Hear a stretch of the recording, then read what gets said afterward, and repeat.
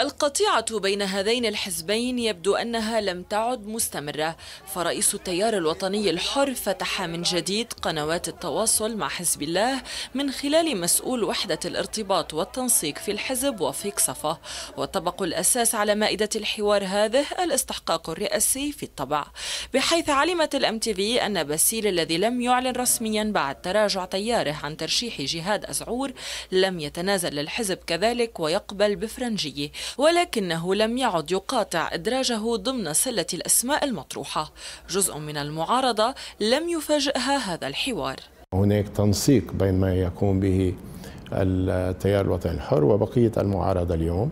آه، بغض النظر مين بتقصد عن ببقية المعارضة؟ يعني كل أطياف المعارضة. بتعرفي اليوم ما بقى في معارضة في معارضات. شخصيا أقوم باتصالات اليوم لكسر الحواجز بين كل المكونات. كل الأسماء أول شيء مطروحة على على الساحة. آه، اسم الوزير سامي فرنجي اسم الوزير آه، جهاد أزعور وربما مرشح ثالث وربما مرشح رابع. ولكن نحن نسعى اليوم إلى طمأنة الجميع إلى أخذ ضمانة للفريقين من أجل إنتاج رئيس للجمهورية.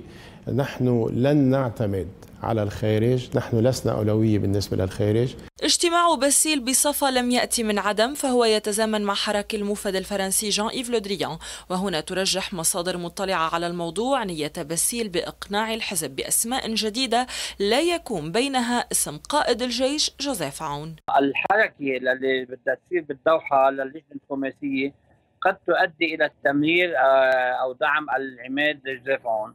من هون هو يتجه نحو اتجاه حزب الله للتفاهم على آه، رئيس الجمهورية يكون يعني يؤدي إلى بهذا المرشح ابعاد كذلك جوزيف عون خاصة إنه ما في معطيات واضحة بتقول إنه الثنائي الشيعي آه، رافض العماد جوزيف عون لأن معتبر إنه هذا بمرحلة ثانية بينحكى فيه. كمان في مصلحة لحزب الله بفك الحصار حوله بالبعد الوطني اجت اليوم تلاقي يعني الرغبتين باسيل استبق دعوة لودريان إلى الحوار فبادر وحاور حزب الله في خطوة لم تكن مفاجئة مثبتا مرة جديدة أن التيار مع حليفه غير قادر على السير على عكس التيار.